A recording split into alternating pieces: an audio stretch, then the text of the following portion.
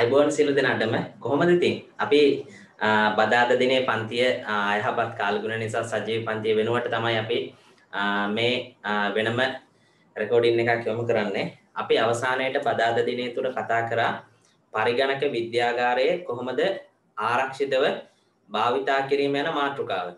හරිද? ඒක යටතින් පුතේ අපි කතා කරා. මොනවද? ඔයාගේ ආරක්ෂාව සඳහා ගන්න පුළුවන් ක්‍රියාමාර්ග සහ පරිගණක විද්‍යාගාරය තුළ තියෙන තාක්ෂණික උපකරණවල කොහොමද ඒවෝවල ආරක්ෂාව සඳහා ගන්න පුළුවන් ක්‍රියාමාර්ගය? ගැන අපි පරිගණක විද්‍යාගාරයට ගියාම ඉස්සල්ලාම අපේ ආරක්ෂාව ගැන හිතන්න ඕන සහ දෙවෙනියට පුතේ මොනවද? වටිනා උපාංග තියෙන්නේ. ඒ නිසා මිලාදික උපාංග තියෙන්නේ අපි ඒවල ප්‍රවේශම් භාවය නැත්නම් ඒවා පරිස්සමට පාවිච්චි කරන්න ඕන. හරිද? මම දැන් ඔයාගේ ස්ක්‍රීන් එකට ෂෙයා කරනවා. අපි අවසානයේට කතා කරපු කොටස. අපි අවසානයේට මෙන්න මෙයාම කතා කරේ. කවුද? මෙන්න මෙයා. කො බලමු.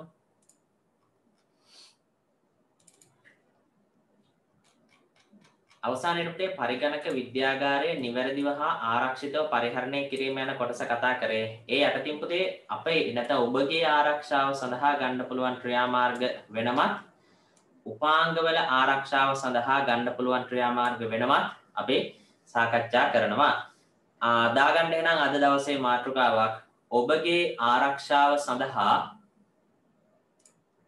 ඔබගේ ආරක්ෂාව සඳහා අනුගමනය කළ හැකේ ඔබගේ ආරක්ෂාව සඳහා අනුගමනය කළ හැකි ක්‍රියාමාර්ග ඔබගේ ආරක්ෂාව සඳහා අනුගමනය කළ හැකි ක්‍රියාමාර්ග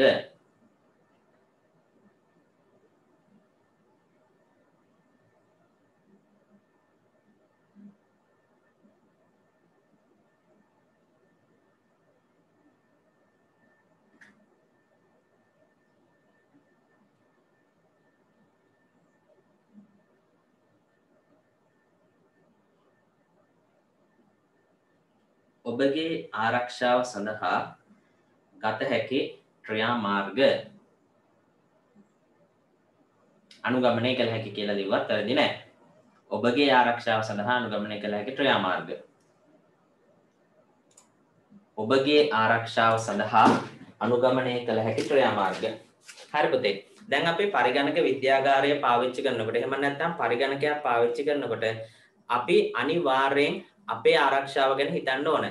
පැදිලිද දැන් අපි මෙතනදි කතා කරන්නේ අපගේ ආරක්ෂාව සඳහා මොනවද ගන්න පුළුවන් ක්‍රියාමාර්ග කියලා. දැම්මං උගන්නගෙන යනකොට සමහර වෙලාට පුතේ ඔයාට යම් කිසි දෙයක් මගහැරුණොත් එහෙම මේ වීඩියෝ එක පොඩ්ඩක් පිටිපස්සට කරලා ලාභහුව එක අහන්න. මම මේ ටිකේ පොඩි පරීක්ෂණයක් කරා. හරිද? ඒ පරීක්ෂණය තමයි අපේ දරුවන්ට වඩාත් යෝග්‍ය වෙන්නේ. සූම්ද? එමන් නැත්නම් මේ ආකාරයට වීඩියෝ වලින් අනේකද කියලා. එතකොට මේ පරීක්ෂණය අවසාන ප්‍රතිඵලය වුණේ පුතේ මෙන්න මෙයා. මොනවද? වීඩියෝ වලින් අනේක. මොකද සමහර වෙලාවට අපි Zoom වලින් උගන්වගෙන යනකොට සමහර කට්ටියට සිග්නල් නැහැ. දැන් සමහර කට්ටියට වෙන පන්ති. අය වගේ ප්‍රශ්න ගොඩයි. නමුත් මේ ආකාරයට යනකොට කිසිම ගැටලුවක් නැහැ. ඒ උගන්වපු කොටස එකපාරක් දෙපාරක් සිය පාරක් දහස් පාරයක් වුණත් නැවත නැවත නැවත බලන්න පුළුවන්. එතකොට මම තීරණය කරා සූම් පන්තියක් යනවා මේ විදියට වීඩියෝල්නුත් යනවා වීඩියෝ එකක් අප්ලෝඩ් කරලා සතියක කාලයක් දෙනවා. ඔබට ඒක පරිශීලනය කරන්නේ. සතියෙන් පස්සේ අපහෝ එක ඉවත් වෙනවා. හරිද? හොඳයි. එතකොට අපි දැන් කතා කරමු පුතේ ඔබගේ ආරක්ෂාව සඳහා මොනවද ගන්න පුළුවන්?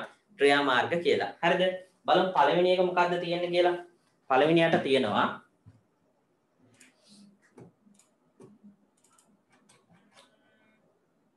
පළවෙනියට තියෙනවා රැහැන් සහ කෙවෙනි වැනි.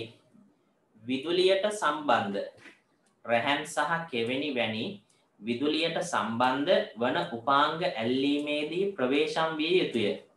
දැන් පුතේ ඔයා දන්න ඔය සමහරලාට ඔයත් ඔය කරන්ට් එකත් එක්ක සෙල්ලම් කරන්න යනවා ඇති.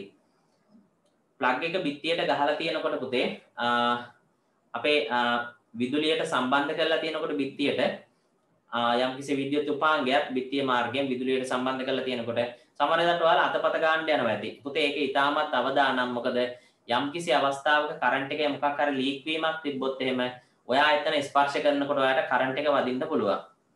මේක ඊටමත් දරුණුයි පුතේ. මොකද කරන්ට් එකේ තියෙන අධික සැර නිසා ෂණික මරණයක් අත් වෙනවා.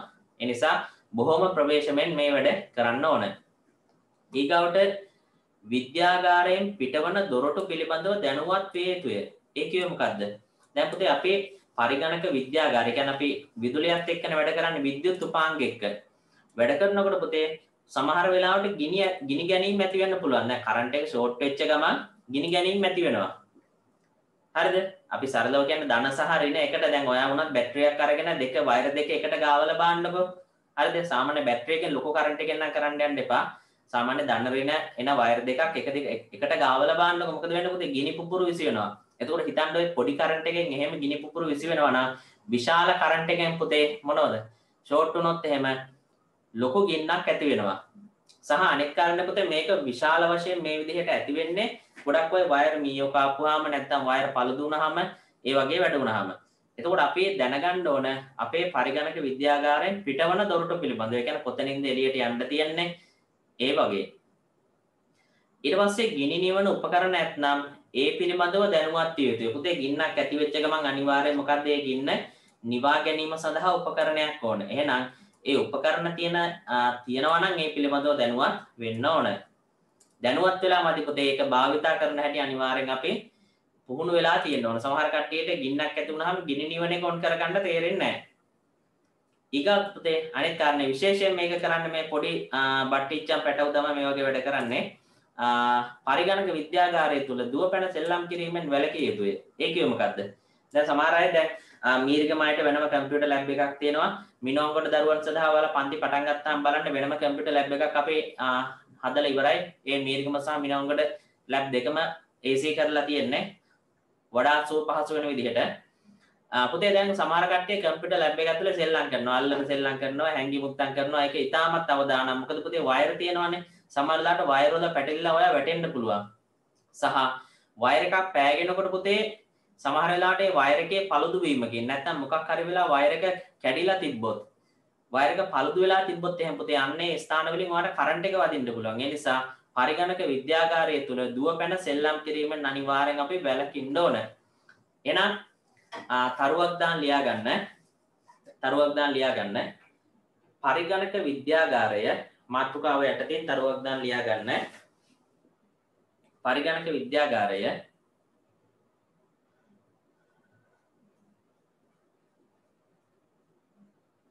පරිගණක විද්‍යාගාරය.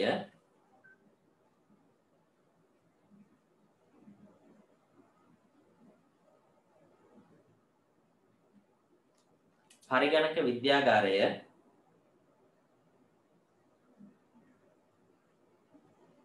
භාවිතා කරන විට පරිගණක විද්‍යාගාරය භාවිතා කරන විට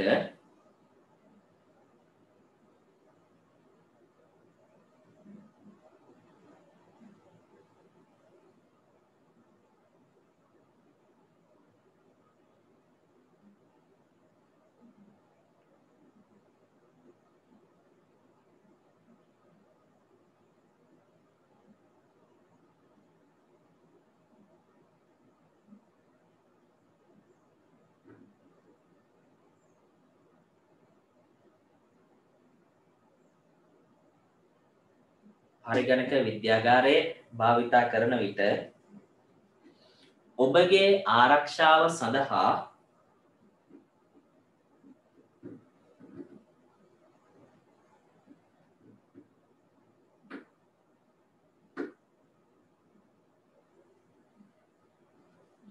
ඔබගේ ආරක්ෂාව සඳහා පරිගණක විද්‍යාගාරයේ භාවිතා කරන විට ඔබගේ ආරක්ෂාව සඳහා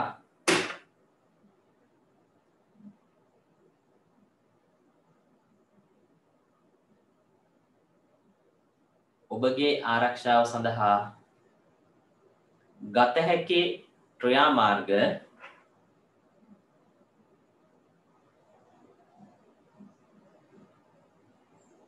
පහතින් දැක්වේ ඔබගේ ආරක්ෂාව සඳහා ගත හැකි ක්‍රියාමාර්ග පහතින් දැක්වේ.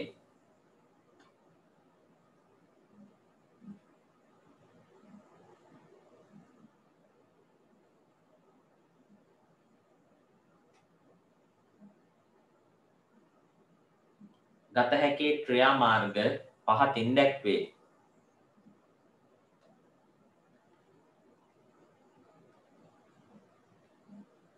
පහතින් දැක්වේ. පොතේ අපිට පුළුවන් මොනවද අංක එක රැහැන් සහ කෙවෙනි වැනි විදුලියට සම්බන්ධ වන උපාංග ඇල්ලීමේදී ප්‍රවේශම් වෙන්න ඕන. අංක දෙක විද්‍යාගාරයෙන් පිටවන දොරටු පිළිබඳව දැනුවත් විය යුතුයි. ඒ කියන්නේ අපි නිතරම අවධානයෙන් ඉන්න ඕන පුතේ. හදිසි පිටවීම දොරටු කොහෙද තියෙන්නේ? දැන් ওই රෝහල් වල එහෙම පුතේ මෙන්න මේ මම ඔයාලට මේ ලකුණු කරන සංඥාවත් එක්ක තියෙන පුතේ අලුත් ගොඩනැගිලි වල තියෙනවා. අපි ඒකට fire exit කියලාත් කියනවා. හදිසි ගෙන ගැනීමකදී පිටවන දොරටු.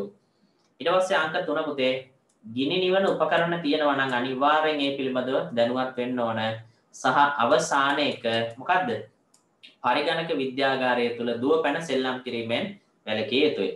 මේ රූප ටික නම් අවශ්‍ය වෙන්නේ නැහැ. මෙන්න මේ හතර දාගන්න 1 2 3 4. විනාඩි 3ක් දෙන්නම් ඉක්මන් කරලා ලියාගන්න. මේ 1 2 3 4.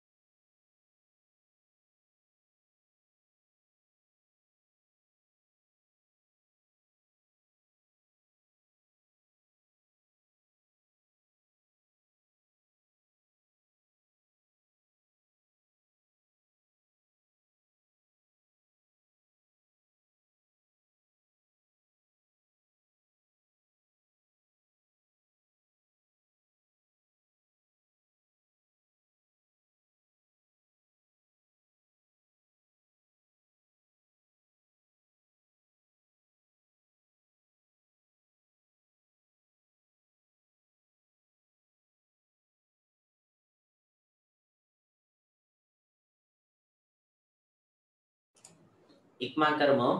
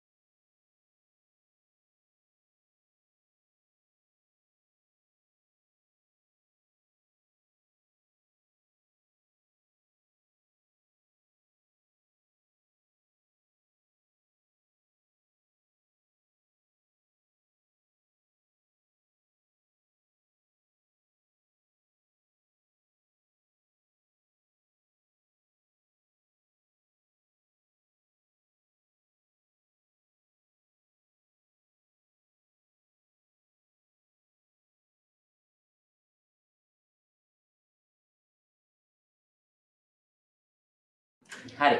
ඊගාවට අපි සාකච්ඡා කරනවා මේ උපාංගවල ආරක්ෂාව සඳහා මොනවද ගණ්ඩ පුළුවන් ක්‍රියාමාර්ග කියලා. හරිද?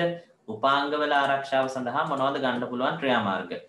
පොතේ විශේෂයෙන් අපි දාගම අනුමාතෘකාව උපාංගවල ආරක්ෂාව සඳහා උපාංගවල ආරක්ෂාව සඳහා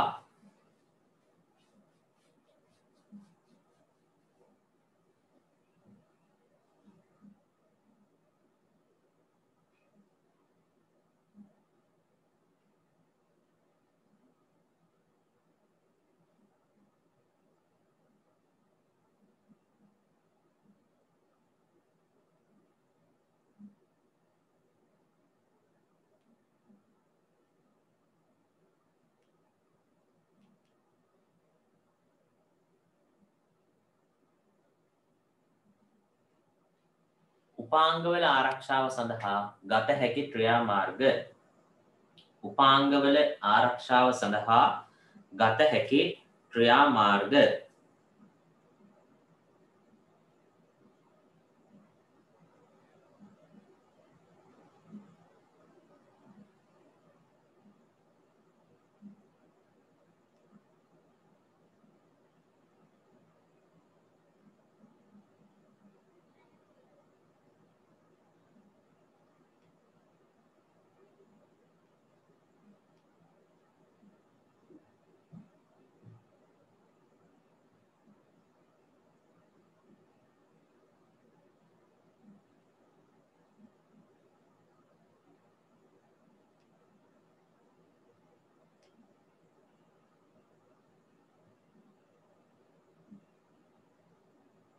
උපාංගවල ආරක්ෂාව සඳහා ගත හැකි ක්‍රියාමාර්ග.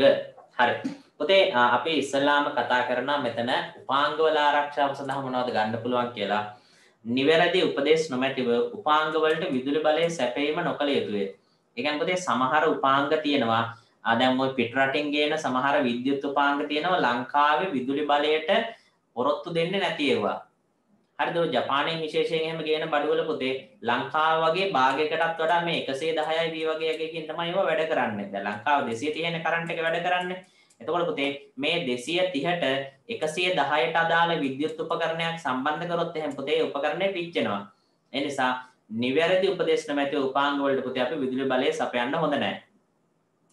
ඊට පස්සේ ඊගාව එක විද්‍යාගාරය හා සියලු උපකරණ දුහවිල්ලෙන් තොරව පිරිසිදුව තබා ගත යුතුය.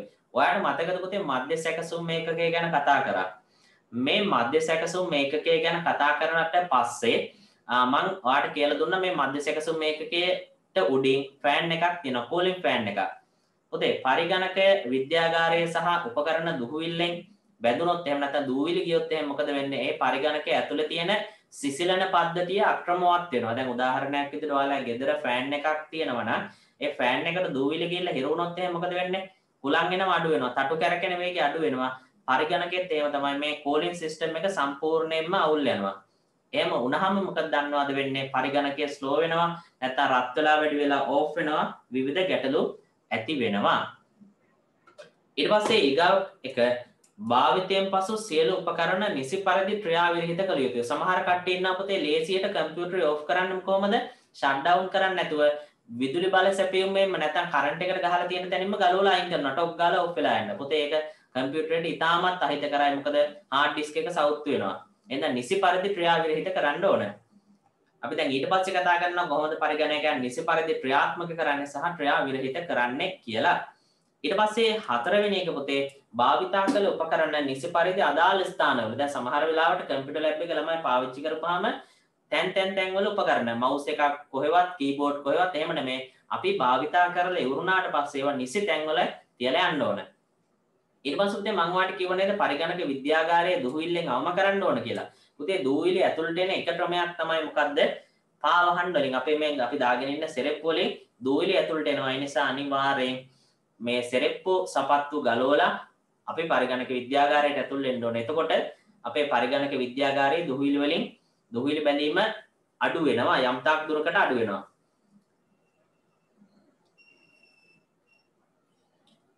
තරුවක් දා ලියා ගන්න දැනටමත් ලිවන අපහු ලියන්න ඕන්න පරිගණක විද්‍යාගාරයේ භාවිතා කිරීමේදී පරිගණක විද්‍යාගාරයේ භාවිතා කිරීමේදී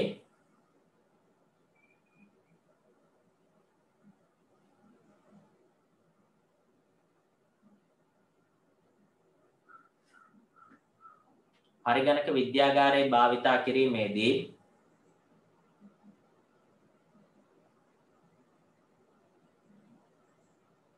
උපාංගවල ආරක්ෂාව සඳහා පරිගණක විද්‍යාගාරයේ භාවිතා කිරීමේදී උපාංගවල ආරක්ෂාව සඳහා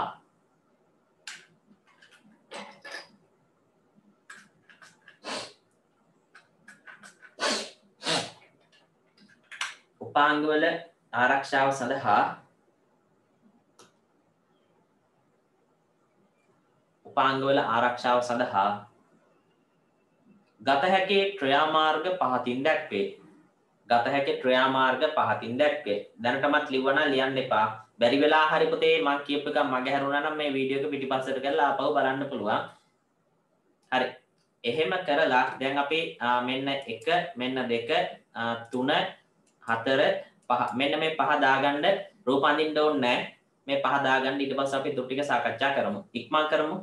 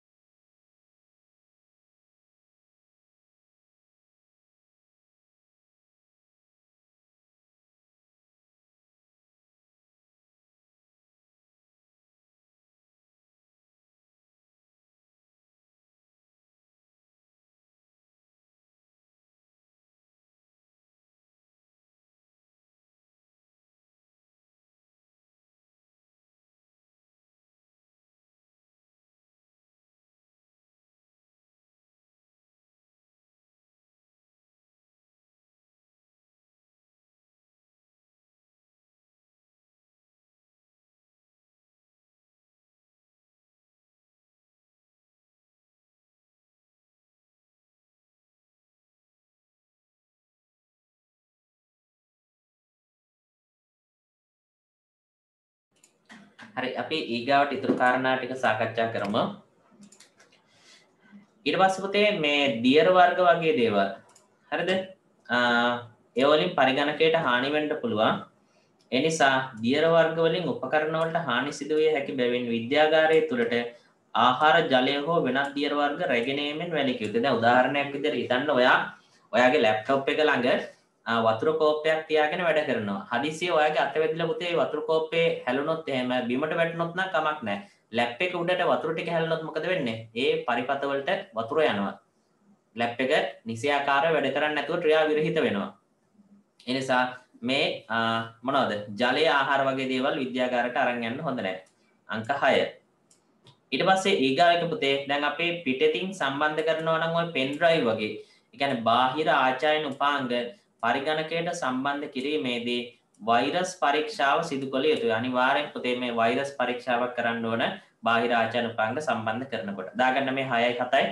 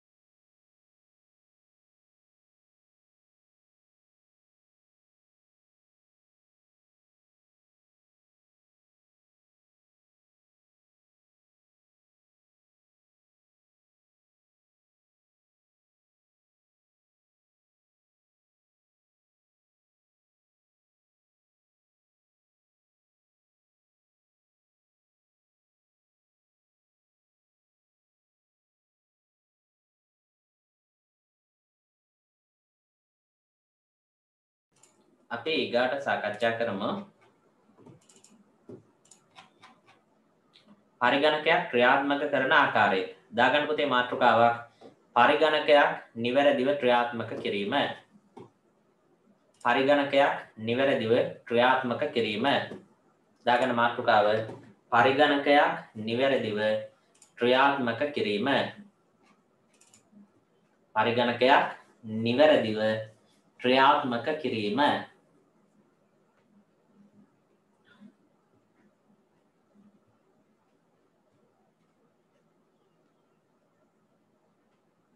පරිගණකයක් නිවැරදිව ක්‍රියාත්මක කිරීම.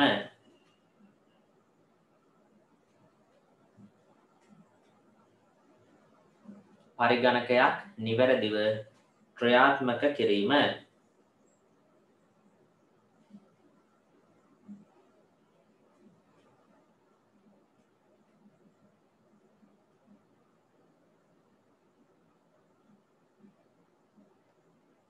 ලියාගම තරුවක් දාලා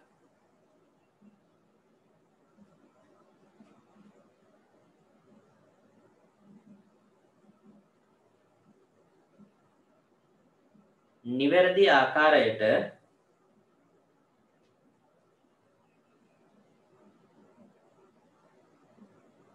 නිවැරදි ආකාරයට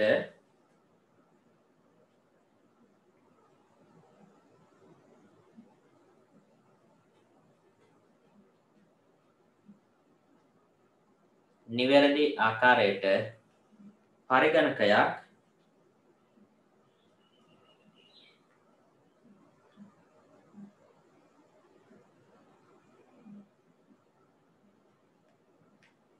නිවැරදි ආකාරයට පරිගණකයක් ක්‍රියාත්මක කරන ආකාරය නිවැරදි ආකාරයට පරිගණකයක් ක්‍රියාත්මක කරන ආකාරය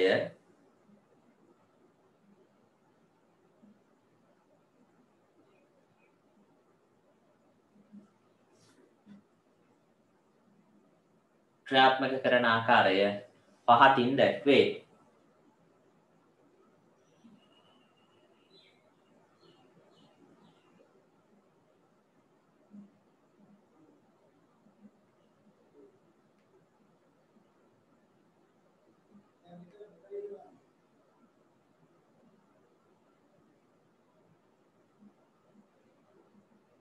පහතින් දැක්වේ. තොතේ මේ බාන්න අපි ඉස්සල්ලාම මොකක්ද කරන්නේ? පරිගණකය පළමුුව මේ බාන්න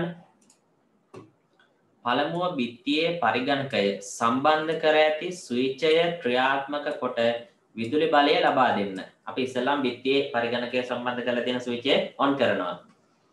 ඊට පස්සපුතේ පරිගණකයට නිර්බාධක ජවසපයමක් නිර්බාධක ජවසපය පක්වට මතක නැතිව තිපතේ UPS කියන වචන හොඳට හල පුරුදු වෙන්නේ ම පන්තියත් කියල දුන්නා. UPS එක මොකක්ද කරන්නේ? හදිසේ විදුලි බල විද වැටීම් වල. දෙකන හදිසේ කරන්ට එක ගිහාම පරිගණකය ඔන්වෙන් ඔෆෙන්ඩ නැතුව තියාගන්න. හදිසේ කරන්ට එක පවකට්ටාපාම විදුලේ විසන්ධි වුණහම පරිගණකේ ක්‍රියා විරහිත නොවී තියාගන්න එක තම මේ UPS එකින් කරන්න. UPS එකක් තියෙනවනං ඒකත් අනිවාරයෙන් ඔන් කළ යුතුයි. ඊට පසපුතේ සිිස්ටම් මනිට් එකේ තියෙනවා මොකක්ද ඔන් කරන බොත්තම ඒක ඔබන්න ඕන. අවසානයේ මොකක්ද මොනිට එකේ තියෙන මේ ඔන් කරන බොත්තම ඔබන්න ඕන. එතකොට පුතේ පරිගණකේ ක්‍රියාත්මක වෙනවා. හැබැයි පුතේ ලැප්ටොප් එකක් ඔන් කරන්න මේ ආකාරයට නෙමෙයි. අපි ඒක ඊගාවට කතා කරමු. ලියන්න මේ අංක 1 අංක 2 අංක 3 අංක 4 මේ හතර දාගන්න. ඉක්මන් කරමු.